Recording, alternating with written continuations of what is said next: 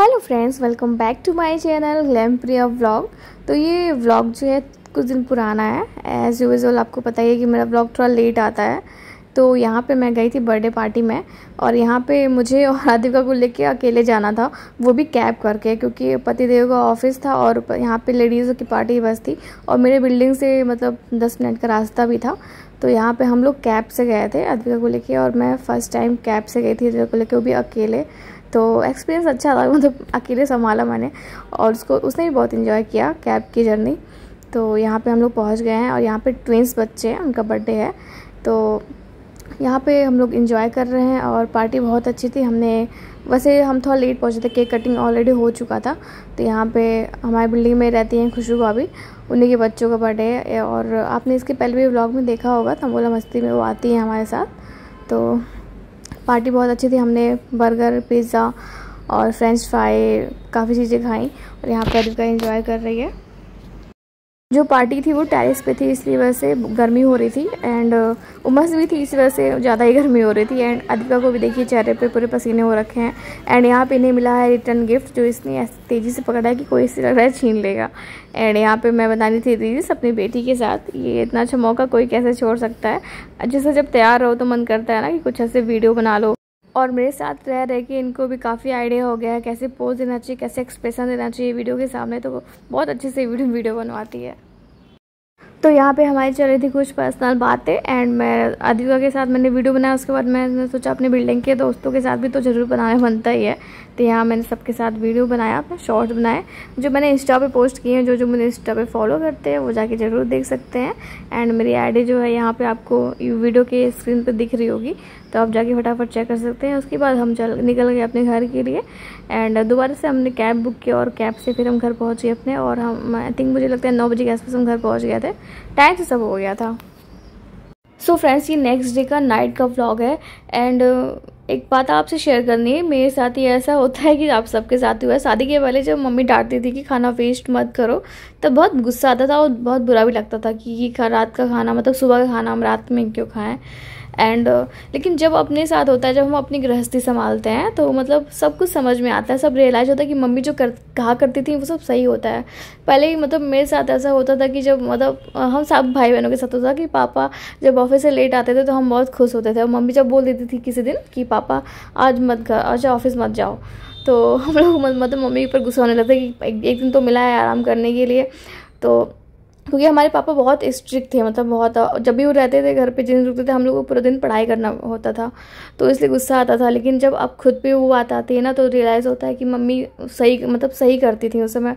मतलब एक पत्नी का जो मतलब मन होता है, वो अलग होता है। ऐसे में कभी मेरे साथ भी होता है। मैं इनसे बोलती हूँ कि ऑफ़िस मत जाइए आज।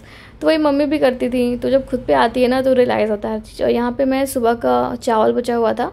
तो मैंने सोचा, चलो उसको फ्राई कर देते हैं, क्योंकि हम लोग खुद ख़रीद के खाते हैं। तो फिर मतलब उसको फेंकना और वेस्ट करना मतलब अच्छा नहीं लगता है। तो यहाँ पे मैं चावल में कुछ आलू की, आलू पतला पतला मैंने काट लिया था और थोड़े से पत्ते गोभी भी बचे थे। तो मैं सोचा चलो उसको मिक्स करके आलू और चावल को फ्राई कर लेते हैं, सब लोग ऐसे खा लेंगे, वरना ऐसे तो फेंकना पड़ेगा। और कुछ लोग के घर में कुछ लोग ऐसे होते हैं जो मतलब नखड़ेबाजी होते हैं कि हम ये नहीं खाएँगे, हम सुबह का नहीं खाएँगे, हम रात का नहीं खाएँगे। एक टाइम का बचा हुआ खाना हम खा सकते हैं, वो ख़राब नहीं होता है। अगर बहुत ज़्यादा गर्मी है तो आप उसको फ्रिज में रख दीजिए तो वो नहीं ख़राब होगा।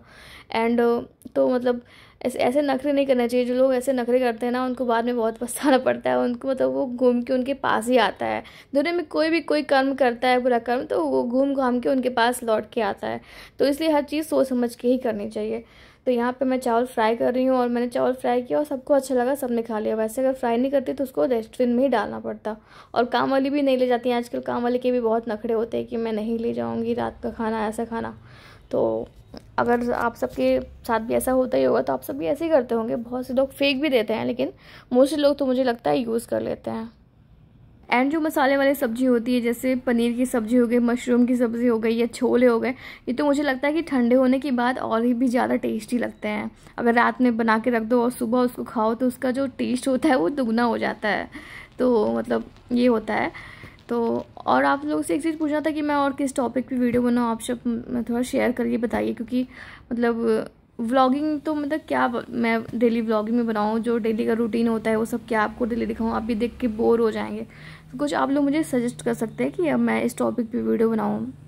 एंड हस्बैंड के साथ तो डेली बना नहीं सकती, क्योंकि उनको वैसे भी इतना टाइम नहीं रहता है। एंड मेरे, मैं डेली घूमने भी नहीं जाती हूँ कि मैं डेली आपको दिखाऊँ, मैं कहाँ घूमने जा रही हूँ। तो मेरे पास कंटेंट नहीं रहता है, समझ में नहीं आता मैं क्या बनाऊँ। एंड वीडियो बनाना भी ज़रूरी है, क्योंकि मुझे अपने चैनल को मोनेटाइज भी करना है, और अभी तक मेरा चैनल जो है मोनेटाइज नहीं हुआ है। तो प्लीज़ आप सब मेरी इसमें हेल्प करिए तो बताइएगा आप सब। और ऐसा बताइएगा कि जो मैं कर सकूँ, क्योंकि मेरी एक छोटी बेटी भी है तो मैंने, मेरे साथ मतलब सब कुछ मुझे मैनेज करके चलना पड़ता है। तो ऐसा नहीं है कि इसे मतलब घर पे खाना बना, खाना नहीं बनाना है, झाड़ू पोछा बर्तन नहीं करना है तो कोई काम ही नहीं बचा है। इसके अलावा भी बहुत सारे काम होते हैं एंड सबको लगता है कि मैं कुछ काम नहीं करती हूँ। मेरे घर में तो सबको यही लगता है कि मैं कुछ काम नहीं करती हूँ, क्योंकि मेरा खाना बनाने वाली आती है और झाड़ू पोछा बर्तन करने वाली भी आती है। लेकिन इसके अलावा भी बहुत सारे काम होते हैं यार। मतलब बच्चे को संभालना मुझे लगता है कि एक ड्यूटी है, एक जॉब है ये। और ये चौबीस घंटे की जॉब है। जब वो सोती है तभी मुझे मतलब थोड़ा टाइम मिलता है एक दो घंटे का कि उसमें मैं सोचती हूँ मैं क्या क्या करूँ, मैं सोऊँ, खुद सोऊँ या मैं अपने बाकी काम निपटाऊँ या मैं व्लॉग एडिट करूँ। तो बहुत सारे काम होते हैं और वो सोती भी है तो एक घंटे सोती है, फिर दो घंटे बाद उठ जाती है, तीन घंटे बाद उठ जाती है, फिर उसके बाद फिर थोड़ा सोती है, फिर उठ जाती है। तो ऐसे तो उसकी नींद तो पूरी हो जाती है लेकिन मेरी नींद नहीं पूरी हो पाती है। तो यही सब है तो आप ऐसा कुछ मेरे मुझे सजेस्ट करिएगा कि मैं मतलब वो चीज़ कर सकूँ। तो प्लीज़ बताइएगा आप लोग। और यहाँ पे मैं दाल को भी फ्राई करने जा रही थी, क्योंकि दाल भी बची हुई थी सुबह की। एंड मेरे यहाँ रात में लोग खाना बहुत हल्का खाते हैं। कभी कभी होता है कि ऐसा खाना ही नहीं है खाना। तो मतलब ऐसा समझ में नहीं आता है कि कब उनको खाना है, कब नहीं खाना है। तो जिस दिन नहीं बनता है तो उस दिन लगता है कि उनका भूखे सो जा रहे हैं, इसलिए मैं थोड़ा एक्स्ट्रा ही बनवा लेती हूँ। चावल और दाल वगैरह। तो और मैं तीन दिन से, इसके पहले मैं तीन दिन से दाल फेंक रही थी। तो आज मुझे बहुत गुस्सा आई कि मैं आज तो नहीं फेंकूँगी। आज तो मैं फ्राई करूँगी और सबको खाना है दाल। तो यहाँ पे मैं दाल में तड़का लगा रही थी। एंड मैं तड़का वाली दाल डेली नहीं खाती क्योंकि मुझे लगता है कि बहुत ऑयली हो जाता है और ऑयली चीज़ें नुकसान ही करती हैं। तो मैं हम लोग सिंपल ही दाल खाते हैं, उसमें घी डाल के। घी भी डेली नहीं डालते क्योंकि घी भी नुकसान ही करता है। ऐसा नहीं कि घी हमें बहुत ज़्यादा फ़ायदा ही करता है। उसकी क्वांटिटी में खाओ तभी वो करेंगे। एंड यहाँ पे हमारी सब्ज़ी हो गई है आलू गल गए हैं मैं चेक कर रही थी कि आलू गल है कि नहीं तब उसके बाद मैं इसमें चावल डालूँ। तो अब आलू गल गए हैं अब मैं इसमें डालूँगी चावल और बस दो मिनट में हमारा पुलाव बन के तैयार हो जाएगा। आप जो भी कह सकते हैं फ्राइड चावल पुलाव या वेज फ्राइड राइस कई नाम हम दे सकते हैं इसके। तो ये हमारा रेडी होने वाला है बस। उसके बाद मैं सर्व करूँगी प्लेट में। एंड उसके बाद हम खाएँगे उसके बाद हम सो जाएँगे। एंड तो चलो मैं इसी के साथ मैं ब्लॉग करती हूँ एंड ब्लॉग आपको कैसा लगा ज़रूर बताइएगा। एंड गाइज़ मैं सोचती हूँ कभी मैं सामने से वीडियो बनाऊँ, ऐसे फ़ोन रख के, लेकिन मुझे उस समय समझ में नहीं आता कि मैं आपसे उस समय क्या बातें करूँ। और मैं, मुझे, मैं शुरू से इतनी ज़्यादा बोलने वाली नहीं हूँ, इसलिए मुझे ज़्यादा बात करने भी नहीं आता है, ना मुझे पसंद है फ़ोन पे ऐसे देर तक बात करना और चैट करना। तो मुझे पास मेरे पास इतना कंटेंट ही नहीं रहता कि मैं क्या करूँ, क्या बनाऊँ। तो बस आप सब मुझे सजेस्ट सजेस्ट करिएगा कि मैं क्या करूँ, किस टॉपिक पर वीडियो बनाऊँ।